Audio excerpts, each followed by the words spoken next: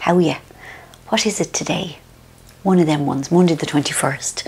Um, yes, it's Monday the 21st of December and um, strictly finished on Saturday night. And since then, I have found myself um, more narky than usual, which is quite narky at the best of times. And uh, I had the great misfortune to go into town yesterday and anyone with a scrap of sense would avoid town on the Sunday before Christmas like the plague. But I obviously don't have a scrap of sense. Also, I was spending quality time with my beloved niece Emma, and we went to see a worthy film, um, an indie film called Grandma with um, Lily Tomlin. And you won't have heard of it because nobody has heard of it because it's an indie film, do you see? And it was made for £4.70. But anyway, it was really, really, really nice. And we really liked it, and we bonded bigly. And then we gave out yards um, because you know the way that there is no baby changing facilities in the men's changing rooms and i said emma one of the things, in my opinion, that really holds women back is that childcare is regarded as solely the preserve of women. So we had a good owl give out and it was really nice and we had sweets and it was marvellous. And then we went to Grafton Street and I decided we'd cut through Brown Thomas's because I love Brown Thomas's. But anyway, God Almighty, you should have seen them at the Joe Malone um, counter. It was like a Red Cross feeding station. Like people were bananas. Like they were shoving and clamoring and there was people wrapping presents and they looked like the way you'd imagine um, you know people on a slave ship or something like that. It was awful. Um, anyway so then i got very narky and she went off then and then I was so narky that I thought I'd better go home. Um, but then I really wanted chips, really, really, really badly. So, uh, so I went to McDonald's is and I ordered me twisty fries, and then I had to order a cheeseburger because for the sake of appearances. But I only really wanted the carbs. Do you see? I suppose you see himself wasn't there, and I didn't want to go home because there was no strictly. Do you see? Um, so. Um, but then there was a delay on my twisty fries and I was in a fowler. Anyway, but anyway, it's all grand, it's all grand. Um, so, uh, what can I tell you? Oh, yes, right. Regarding the scribing, do you know I was telling you about doing the word count and I was trying to get a thousand words done a day? Well, that kind of came to a big halt, and I'll tell you why. Because I was moving forward with a kind of a story and characters and stuff like that, and this doesn't work for me. I can't go forward without going down. So what I've been doing now is I've been going deeper into my character, my main character, Amy. And I would use the phrase I've been drilling down into her, except that makes me really narky at the moment because I'm very narky. So I won't say it. But if I wasn't made narky by the phrase, I would say that I'm drilling down into Amy. So sometimes you have to, well, I have to go down into my character before I can go forward. So this has been interesting, like getting to know the kind of woman she is and and her approach to relationships you know not just with her husband um, and and her ex-husband but with her family and for me this is what truly makes a book interesting i mean it's what i like about writing, I suppose. So I haven't been making any forward progress, but I have been making downward progress. And that you know, everybody is different. And I suppose for me, the books I write, I would really like to present a very rounded um, set of characters and, and rounded all the way down. Um, so that's where I've been. So it's frustrating in one way because, in fact, many days I can end with less word count than I started because I'm getting rid of stuff. And for me, there's no point writing, she did this and she did that and she did the other, unless it feels authentic and it was starting to not feel authentic. So that's that's just my tip for the day.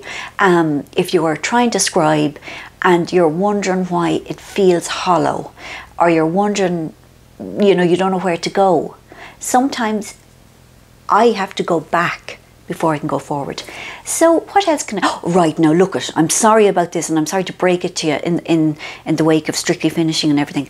But this will probably be my last regular vlog for a while because I'm going away. Yes, I'll be away for most of January, yeah, nearly all of January. I'm going to the southern hemisphere. I'm going to Australia because my lovely friend Posh Kate, her daughter is getting married in Australia. And so I'm going for the wedding with him, that there himself. And then we're going on to New Zealand, and I will be doing some work in New Zealand, which will be very nice. And I did offer to do work in Australia, but I was told everybody is away for January, so there's no point. So I did offer Australian people, I am really sorry. And I said, I'd love to do events and everything. They said, That's very nice you, but nobody will be here. So I'm only telling you what I was told. Um, so we will be doing the vloggy things but it won't be kind of every Monday. It'll be because we'll be moving around and it'll be to do with the ability to upload and that sort of a thing and the things that come in the air, the Wi Fi and the bandwidth and them sort of things. And I just wanted to show you a couple of things before I go. Now, hold on. Whenever I go to the sun, I do get the cold sores. Well, I get the cold sores a lot anyway. And anyway, Sali Hughes told me to start taking this this here lysine um, so I have been, and I haven't got a cold sore in absolutely ages. Um, so I don't know. There you are. And um, another thing I wanted to show you was I did a makeup course, um, just a half day course in Makeup Forever. Now this is absolutely, this is kind of like miracle sauce, I think. Um, it's a concealer and it goes on under your foundation. I'm going to show you. It's blue. It is blue. Um, do you see? It is blue, but it cuts both redness and purpleness I have found. Because you know the way I have red chinitis and red noseitis? And I was putting on the green con concealer. And it was kind of leaving a kind of a greyy, ashy finish. But this this kind of leaves a lovely snow white whitey but not white. Do you see? Kind of like blue white. Do you see? It's very very nice. And then I put it on the purple circles under my eyes. Now I know I probably look like un Uncle Fester right now, but I would look worser Uncle Festery if I didn't have this lovely blue gear on me. And it's very smooth. It goes on very smooth. It rubs in lovely and smooth. Um, and is very nice for the under eye area because it's so smooth. So it doesn't kind of take up residence in the wrinkles under the eyes. Um, just no i paid good hard cash for all of these things. Now i'm i'm not i'm not in the pay of some sinister overlord. And i just wanted to show you one more thing which um it's another makeup thing. Right. It's by who do you call that crowd? Urban outfitters. Once again um i paid good hard cash. Now you see this here. This is a kind of a sparkly eyeshadow. You see? And it's very nice. Now i'm going to show you. And and it's not, you see, I was using it for a highlight, but actually you can use it all, all over the lid. Um, right, I'm putting it on my lovely Kira Daily brush here. Now I'm going to rub it on the back of my hand. Now do you see, it comes out nice-ish, you know, but a bit kind of sparse, you know? And it's a bit grand. But hold on now, hold on. I'm going to show you this here magic spray.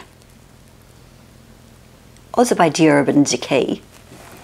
Right, now I have another brush here another Kira Daily one. Right, I'm going to, to spray this here brush. Aye.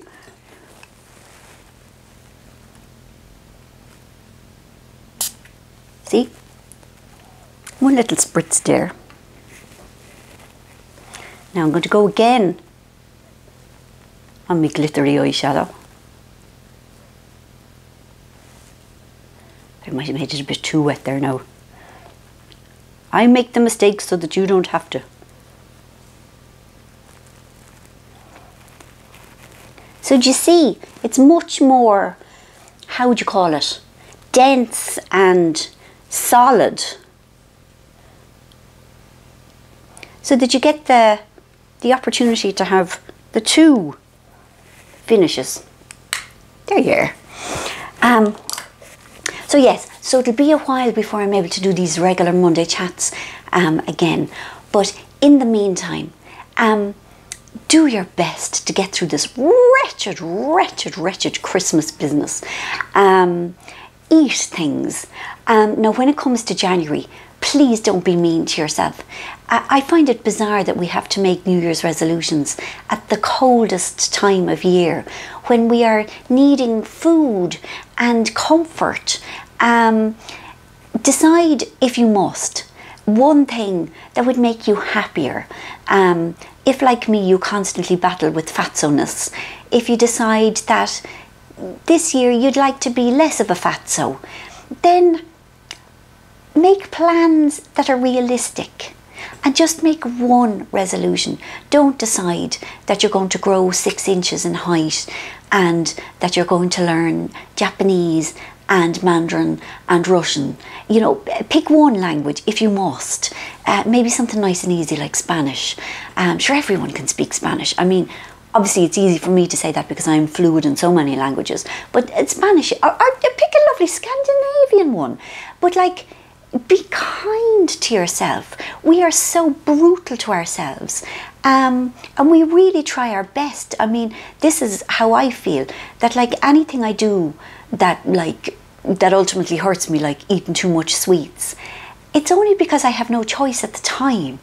And it's only when the burden of being too much of a fatso gets too much you know that the choice becomes that I'll decide okay I'll knock off the the Percy pigs for a while. Uh, pick one thing that's all I'm saying. Pick one thing that will make you happy and and enjoy as best you can. Get some sleep um, go for a walk get out of those hot noisy houses. Um, if you've got people coming home, enjoy them. And I'll be back at the end of January. But I will be sending things in the meantime, but they'll be sporadic and unexpected. And sometimes they'll give you a nice surprise on the 15th of January or one of them kind of days, you know. So thank you so much for your kindness to me uh, during the past year. I just want to tell you the woman who stole my life has been in the top 10 in Ireland for the past seven months. Uh, thanking you, thanking you, thanking you. You are very decent. And it did, it did really well in England as well and, and in the other countries in, in, in the world and Scotland and Wales. I'm sorry, I should have said Britain. Um, and um, yes, thank you again. And you mind yourselves. And I will talk to you at the end of January. Thanks, thanks, thanks. Bye, thanks. Hello, I'm back. I forgot to say about my hair. Do you like my hair? I was channeling Princess Leia. I know that I should have done it really on the ears, but still, I'm very pleased. I learned it myself. I learned it from my website. I learned it from The Pool. You know The Pool? The Pool is a great website. Do you see? Don't look too much at the top, at the clips. But still, thanks. Bye, I'm going again now. Bye, bye, bye. Thanks.